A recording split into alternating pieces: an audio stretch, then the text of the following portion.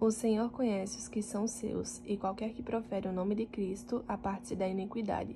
Segundo Timóteo, capítulo 2, versículo 19. Oi, pessoal, tudo bem com vocês? Eu espero muito que sim, começando mais um vídeo aqui no canal. E eu nem acredito que eu já estou começando esse vídeo, que é o Arrume-se Comigo para o Ano Novo. Gente, parece que foi ontem que eu tava gravando um vídeo desse, já passou assim um ano. Mas enfim, quando vocês estiverem assistindo esse vídeo já é ano novo, então feliz ano novo pra todo mundo. Mas por enquanto aqui ainda não.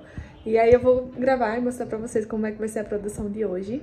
Então vamos embora. Primeiro passo vai ser o quê? Cabelo. Vou finalizar o cabelo agora. Então, como sempre, né, nós temos três passos. Que é cabelo, maquiagem e look. Então vamos começar pelo cabelo. Eu vou finalizar ele agora com vocês, porque já vai ser a finalização que eu vou usar hoje.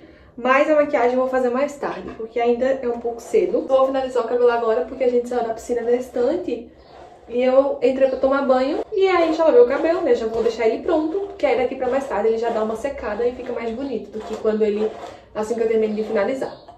Então, primeiro passo, né? Como sempre, já lavei, hidratei ele hoje. Porque aqui, né, tem sido piscina a semana toda. Essa escova é maravilhosa. Eu indiquei ela pra vocês em outro vídeo, que eu comprei essa escova recentemente. Eu amei. Ela é da Nides e eu comprei na farmácia Drogazil. E ela é muito boa. Ela desembaraça meu cabelo muito fácil. Hoje eu vou tentar fazer uma finalização com um pouco mais de detalhes para que meu cabelo fique bem cacheado. Pensei em passar chapinha? Pensei. Mas eu tô com muita dó do meu cabelo. Toda vez que eu tô passando chapinha, ele tá ficando o quê? Liso depois. Então, por via das dúvidas, né? Vamos embora usar o cabelo cacheado, que quando eu finalizo ele fica bonito e tá tudo certo. Vou usar esse creme de penteado da Salon Line e vou passar bastante creme, é para o cabelo ficar bem bonito. Passei de um lado, vou passar do outro. Espalho bem. E aí hoje eu vou fazer um pouquinho mais de camadas, para ele ficar bem cacheadinho. Vou dividir em camadas menores, né, com menos cabelo. E a minha finalização é muito simples. É só passando a escova assim, abrindo, né, cabelo.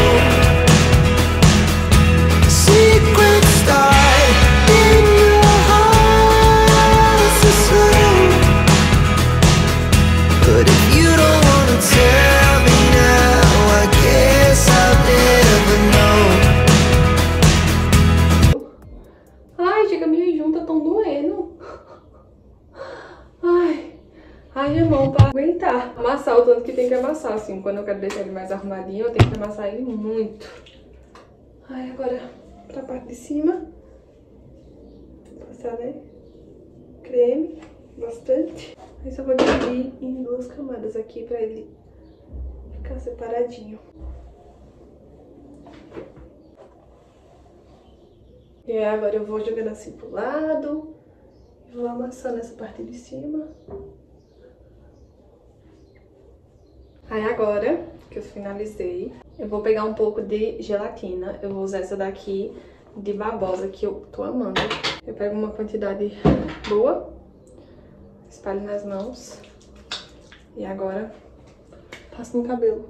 Eu percebi que fazer assim, tipo, separado, ao invés de misturar a gelatina com creme, fica muito mais bonito o resultado. O cabelo fica meio peguento, assim, no início, porque a gelatina é peguenta. Só que depois que ele seca, fica lindo. A gelatina, eu sinto que fazendo assim, ela fixa mais os meus cachos do que só com o creme. Ela deixa eles mais durinhos, fazendo eles ficarem fixos, assim dos dois lados. E eu não vou secá-lo, porque eu tenho quase certeza que nenhuma das meninas tem secador e eu não trouxe o meu. Então, Vou andar assim, parecendo um robô pela casa até a hora de eu vir de me arrumar. Até ele dar uma secada. É que daqui a pouco eu volto pra fazer a maquiagem com vocês, tá bom? Gente, eu achei um secador! Vou secar. Ui, tá ligado. Queria ficar mais cacheado se eu sair com o secador. Vou secar ele, porque tem três meninas querendo usar o secador, né? Então vou secar o meu aqui, pra ele ficar mais cacheado. Protetor térmico. Já ia me esquecendo do protetor térmico.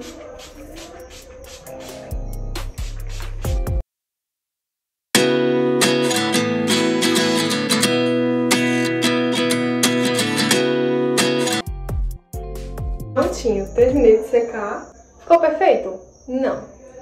Já ficou mais bonito em casa? Já. Mas, como sempre, o cabelo adivinha que a gente precisa que ele fique bonito e ele não fica, né? Mas tá ótimo. Melhor do que nada. Aí, pronto. Mais tarde eu venho pra gente fazer a maquiagem. Gente, horas se passaram. Agora eu tô atrasada, né? E aí, vamos começar a maquiagem. Primeiro de tudo, eu vou começar lavando o rosto. Que eu vou colocar a lente de contato, né? Hoje eu fiquei o dia todo sem. Pra que agora à noite eu pudesse colocar. Se eu tivesse colocado mais cedo, tanto que eu tava na piscina, né? Não dava. Também porque passo muitas horas, ela fica irritando. Aí eu deixei pra colocar só agora à noite. Aí eu vou lavar o rosto, porque hoje eu coloquei muito protetor de piscina, né? Porque aí o rosto fica meio oleoso. Hoje meu cabelo não ficou do meu agrado, né? Ai, mas desencanando disso, porque eu não vou lavar ele de novo, eu não vou chapar, né? Então vai ficar assim mesmo. Agora eu vou tonificar o rosto. Tá saindo uma espinha bem aqui, ó. Calombo que tá. E eu tô falando meio torta porque tem uma afta bem aqui, assim. Que quando eu falo, ela fica machucando assim no dente. Agora vamos para o processo da lente, né? Lavei minhas mãos. E agora eu vou estender a toalha aqui, né? Que vai que eu derrubo dentro da pia. Vamos para a saga de colocar essa lente. Ô, oh, senhor, por favor, abençoa o passeio de uma vez só. Porque vai acabar machucando o olho. Vamos lá. Hum! A primeira foi de primeira. Vamos para a segunda. Esse olho direito sempre me faz raiva.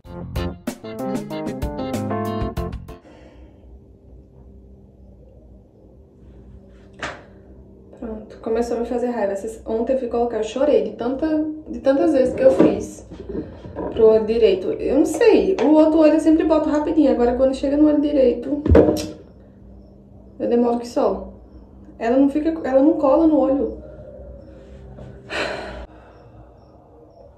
Aí vai irritando o olho, vai machucando, sabe? Gente, eu não consigo. Eu tô chorando já. O olho já tá chorando. Tem um lado certo de colocar. E quando vai do lado errado, ela não cola. Só que eu já testei os dois lados. E não tá indo. Já tem 10 minutos que eu tô aqui tentando colocar ela. Vou tentar de novo. Gente, ela não cola. Não cola. Eu já testei os dois lados dessa porcaria. Já me estressei já. Tem 10 minutos que eu tô tentando colocar uma delas. Não vai. Já tô irritada. Meu olho já tá irritado já. A outra de primeira eu coloquei. E ontem foi esse mesmo jeito. Nesse olho.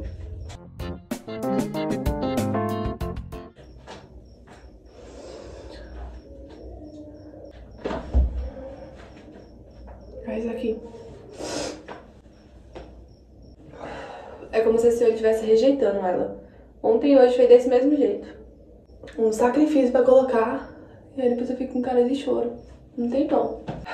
Tá, agora foi. Aí agora eu vou passar o colírio. Na realidade não é colírio, é gotas lubrificantes. No, no olho que tá calente pra, pra lubrificar. Vamos começar a maquiagem. Ui, gente, que nervoso. Vou começar a maquiagem passando hidratante com filtro solar. Passar um pouquinho só de protetor solar. Aí aqui não tem, tipo, comparação com Recife, que agora mesmo eu tô na agoniada aqui pra colocar a lente, eu tô tranquila, tipo, não tô suando. Se fosse em Recife, oxe, eu já tava completamente suada. Aí hoje eu vou passar, sabe o quê? Uma coisa que eu só usei há um ano atrás. Base. Inclusive, vou até olhar se não tá vencida. Vai vencer agora, em março. Mas ainda não tá, não. Que é uma coisa que eu, que eu só passo no Réveillon. Passar base por, por todo o rosto. Fazer uma camada. Essa base que eu tô usando é a base da Tracta. Tomara que ela não abra no meu rosto. Misericórdia, que base forte da poxa. Tipo, não precisa nem de corretivo com uma base dessa, gente. Essa base da Traco é muito, muito... Cobertura, tipo, muito alta. Vou passar um corretivozinho nas olheiras. E aí não precisa ir mais nenhum canto, né? Já vou vir com pós translúcido. Isso aqui é da Playboy. Sela nessa pele aqui pra ela não abrir.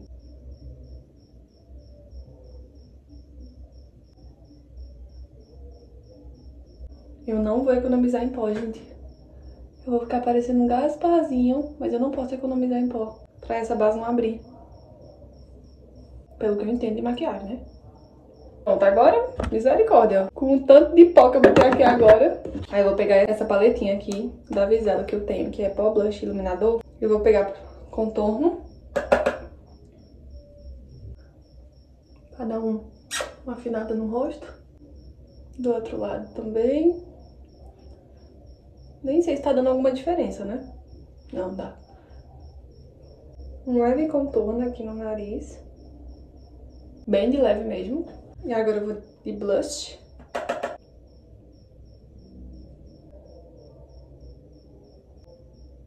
Um pouquinho no meio do nariz.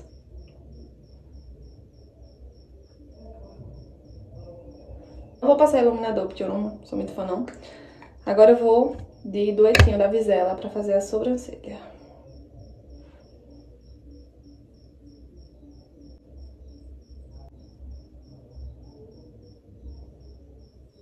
Pronto, sobrancelhas preenchidas. E agora, eu não faço ideia do que vou fazer no olho. Não faço ideia. Eu acho que eu vou de um rosézinho, que não, o meu vestido tem. Passar um pouco de corretivo na pálpebra.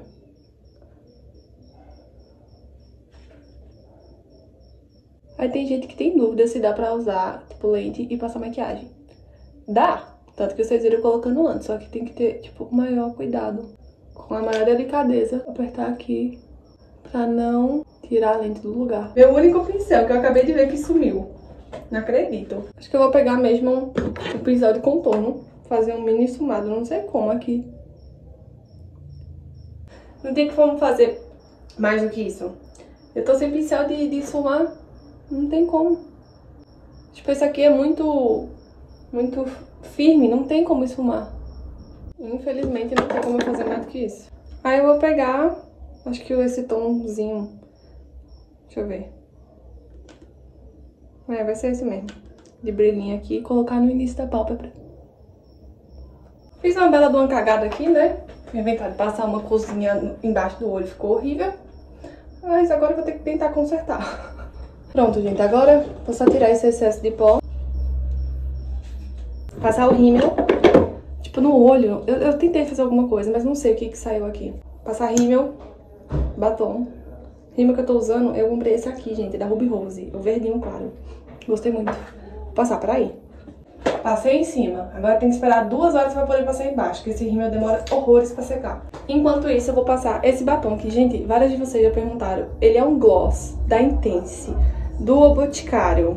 É isso, e tem essa cozinha aqui, mas não tem tipo uma numeração específica que eu vou passar pra vocês, mas ele é um gloss dessa tonalidade. Pronto, eu vou passar ele agora. Meus pais acabaram de chegar aqui. Pronto, deixa eu ver se eu consigo passar agora o gloss embaixo. Oh, o rímel. Licença, tô entrando. Oi. Menina, que linda! Eu também, vi você tô muito Quem gata. fez tua maquiagem? Eu. Tá bom, que agora eu tô feia. Deixa eu me arrumar. Como é quem foi teu Eu amigo? não tô muito aqueles estilos, tipo, Eu não estilosa. consigo passar rímel agora, porque tá muito molhado. Vou botar o roupa, gente. Vou botar a roupa e mostro pra vocês. Tá linda. Pronto, gente. Coloquei o look e vou mostrar pra vocês de corpo todo.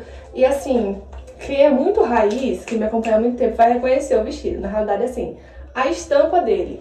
Por quê? Porque esse foi o vestido que eu usei no dia do meu aniversário de 18 anos. Eu só usei nesse dia. Porque ele era tipo de alcinha, aí tinha umas mangas aqui embaixo, tinha um decotão e era longo. Então era muito arrumado pra eu usar qualquer outra ocasião. Aí quando foi, eu, tipo, eu nu- nunca mais usei ele. Manhã pegou, manhã pegou, linda, maravilhosa, chegou aqui.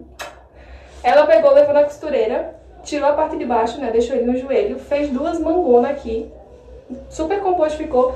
Colocou um, um pedacinho aqui também pra não ter o decote. E ela tem um novo vestido. Pronto, gente. E assim ficou um novo vestido. Que eu usei lá, o quê? Quase três anos atrás. Mas Maravilhoso. Aí, tô. Ficou lindo, eu amei. O rosto eu também amei. Meu Deus do céu, quanto mais cedo nós tivesse feito isso. Já tinha usado muito mais, né? Com Aí certeza. eu coloquei, só pra tirar foto, esse salto branco aqui, que daqui a pouco eu já vou colocar uma rasteirinha, né? Obviamente. Que a gente vai passar aqui na chácara. E aí agora eu quero saber de vocês, a nota de vocês para a produção de hoje. De 0 a 10, a senhora dá quanto, mãe? 10. Ai, para, são seus olhos. Agora bota o cabelo pra trás pra ver o, o, o vestido. Isso. Agora sim vai dar Ele pra é ver o muito, vestido. muito lindo aqui em cima. Se É. a, gente, a, a ideia inicial era a gente fazer uma saia desse vestido. Era tirar essa parte de cima e aí, como ele era longo, fazer uma saia longa. Mas eu acho que essa parte de cima era muito mais bonita, assim, esse tecido cintilante assim na parte de cima. Muito mais bonito. Então, a gente acertou de não fazer uma saia e sim fazer um vestido. Aproveitar de verdade. Exatamente. E agora vamos embora pra lá aproveitar. É o Réveillon, comer, tirar foto, bastante foto, né? Pra gastar o Por favor, vamos comer, porque eu preciso comer, porque eu estou com.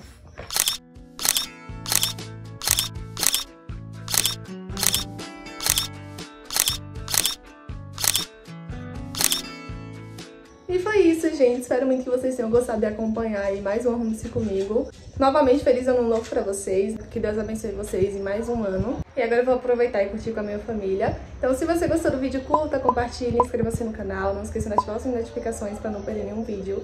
Me siga no Instagram, arroba. E pra saber se vocês assistiram o vídeo até aqui, comentem em rosa. Um beijo, fique com Deus e tchau!